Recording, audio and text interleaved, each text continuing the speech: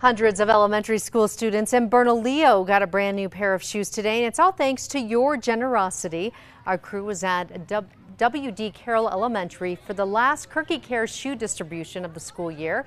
401 students went home with a brand new pair of shoes. One staff member says seeing the kids' faces light up was indescribable.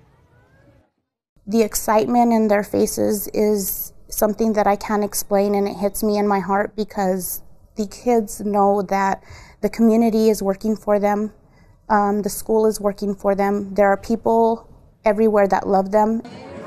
Students also got a goodie bag filled with socks, a book, and dental hygiene items.